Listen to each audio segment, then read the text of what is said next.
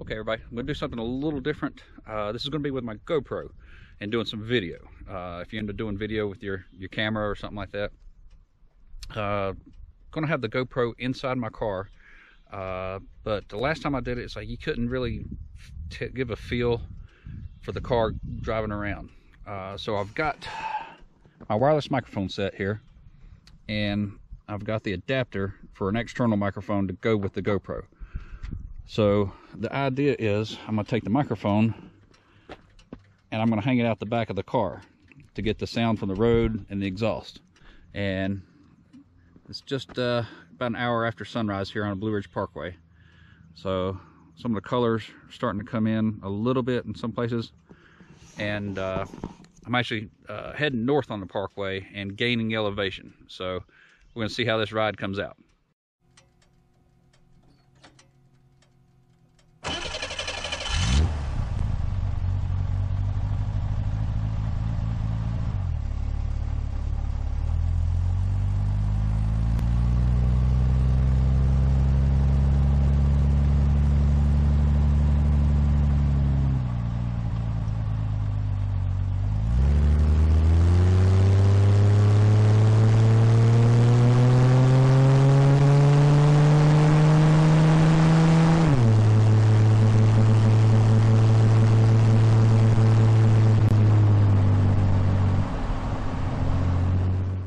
All right, uh, first test run on this. Uh, the engine noise was a lot louder than I expected.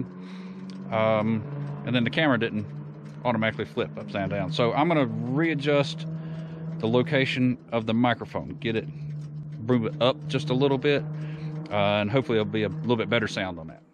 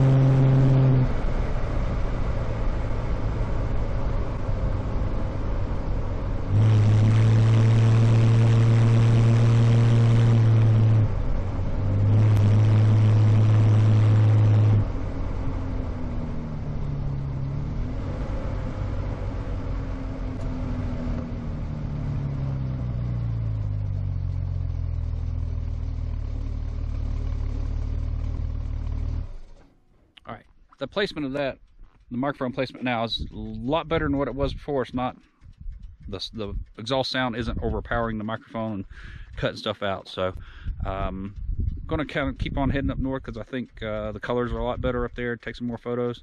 But on my way back, I'm going to do this again and car won't be under so much load. It'll be more drifting down. So it'll be a totally different experience on that. So uh, once I get up the mountain and turn around and head back, I'll show you the difference on that. All right, ready to head back down the mountain.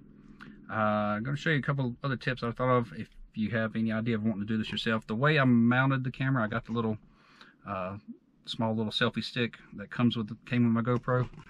Uh, just kind of put it underneath this, and then the camera's hanging down right here.